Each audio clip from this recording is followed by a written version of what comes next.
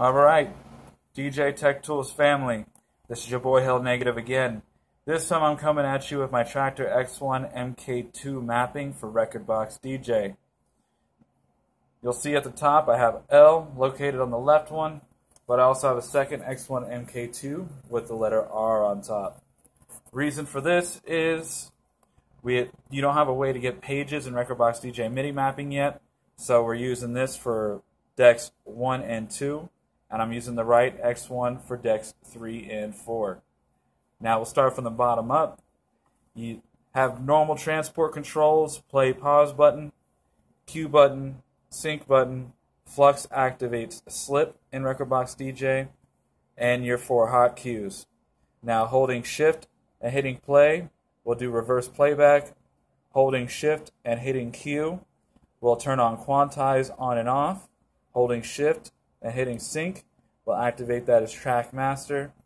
And holding shift and hitting the, and holding the flux button will give you slip reverse. Now the touch strip, Rekordbox DJ does not allow pitch bending yet for MIDI mapping, but instead touch strip normal is going to be deck 1 needle search.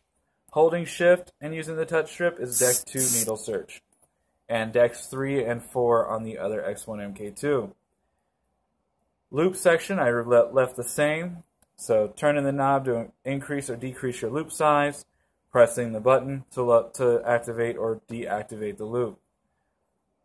Browse knob, when you press the browse knob, it's going to open up browser view Pressing it again will bring you back to your normal four deck or two deck layout. Left button lo loads track into deck 1, right button loads track into deck 2. Holding shift and hitting the left button turns on master tempo for deck 1 and right button master tempo for deck 2. Effects section, same as Traktor. Turn on effects processor 1, turn on effects processor 2 for each channel. The buttons are going to be buttons 1, 2, and 3 on the effects processor, and knobs 1, 2, and 3 for the effects processor.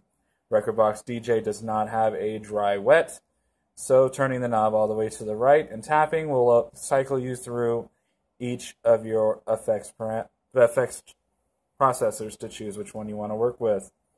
Pressing the button will increase the beat count on the effects processor. Holding shift and pressing the button will decrease the beat count. that is it for this Traktor mapping so far. Uh, we will have more updates coming soon as we dive a little bit deeper into it. You'll see that you have two different mappings in the zip. One mapping is going to be for Traktor X1 MK2, decks 1 and 2. And then the mapping label number 2 will be for decks 3 and 4. If you have any questions, feel free to PM me in the forums, uh, the Bastet, or you could email me at hellnegative at baselinesyndicate.org. Thank you.